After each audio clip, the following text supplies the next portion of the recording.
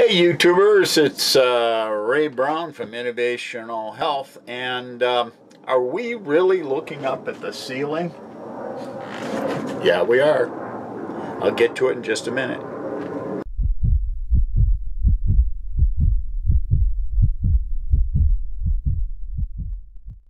Okay, I don't know how many of you uh, have seen my um, previous video on replacing the LP gas sensor. If not, uh, the little device that uh, will go off if there's excess LP gas, you should go back and look at that because that's like a really important thing.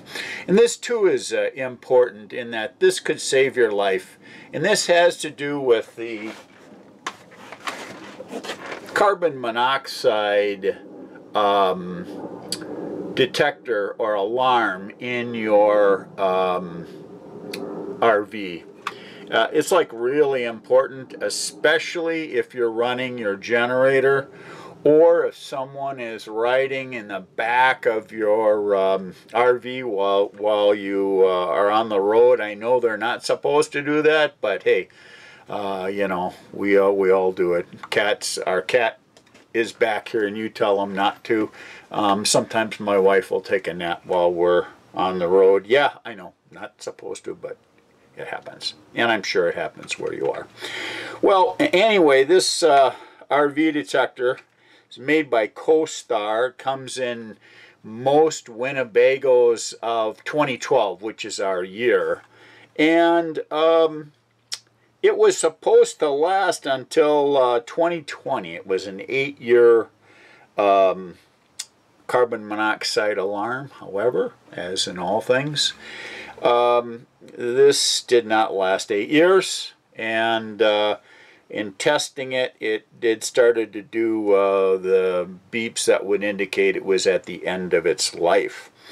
So because this is on the roof where it has to be as uh, carbon monoxide rises, I was concerned about just going down to Home Depot and buying, uh, or Lowe's, and buying another uh, detector that would fit in. And why is because you have to put the um, different um, screws mounting hardware into the um, ceiling. So what I did is I called uh, Winnebago's uh, best dealer, which is called Lichtsinn at lichtsinn.com. I, I always watch their videos on YouTube. They're very helpful. And I asked them about this. And of course, CoStar, the maker of this particular uh, carbon monoxide alarm is no longer in business.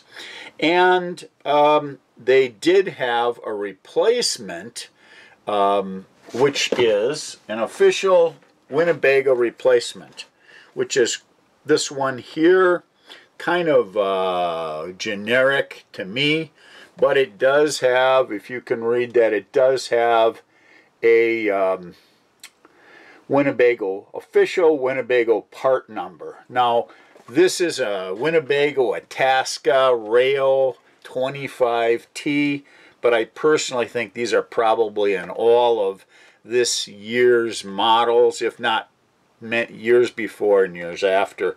But in any event, they have uh, replaced the one that used to be up here that I showed you before, and now I have to replace that one with this one. And I went to Winnebago to make sure I was uh, putting in the right part. But this is what came. And number one, I was warned it would be smaller, which means there's going to be an indentation up here. And number two is, this is important, the ring does not match, which I was hoping it would, so I wouldn't have to put new screw holes in the top does not match up or line up with the old mounting plate. So let me take it down and uh, show you what I have to do to, to mount this one. Okay, so the old plate, as you can see, is gone. And now I've got to mount the new plate, which you can see is smaller. Um, the problem that I have are the screws. The screws of the old plate that held it in place for um, six years is uh, are these type, and they're actually screws. The ones with the new uh, carbon monoxide are these, which have these little white things you have to put in, and then you've got to put in the other screws, which are actually smaller. You know, these old ones held for six years and i'm and they're also not as long. I'm always afraid of hitting the actual roof the fiberglass roof. So i'm going to go with the old ones and see if i can't put those in. Well so let's see if that works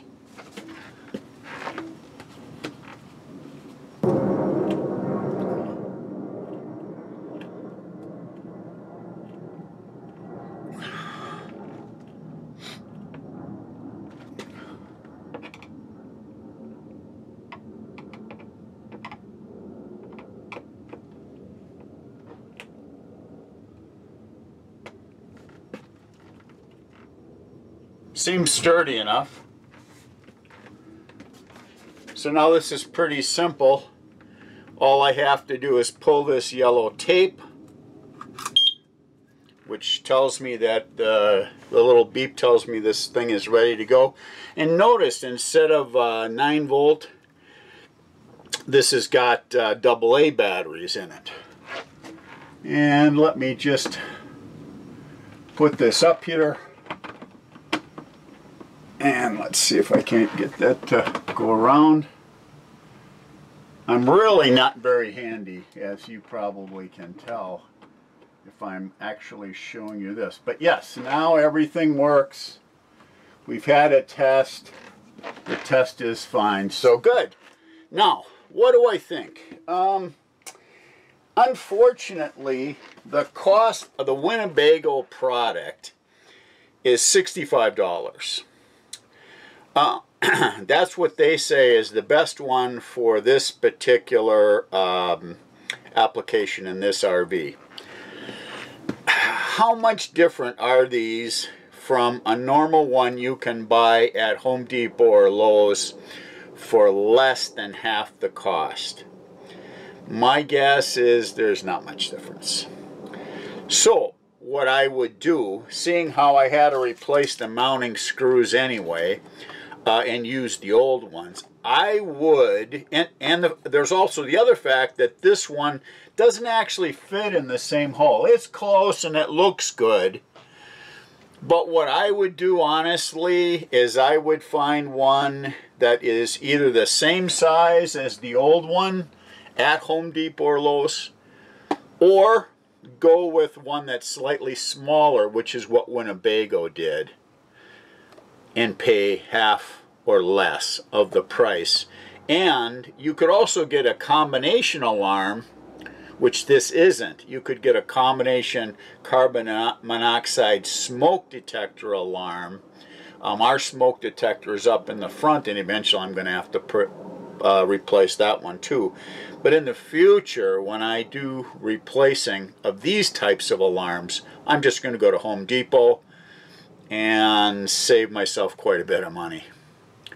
That's the tip for today. Hey, if uh, you like this, give me a give me a thumbs up and uh, subscribe because you never know when's the next time I'm coming out with one of these informative tips.